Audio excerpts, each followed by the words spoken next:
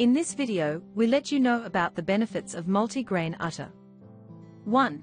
It is a good source of dietary fiber that helps digestion and prevents constipation. 2. It is rich in vitamins and minerals. 3. It helps in controlling blood sugar levels.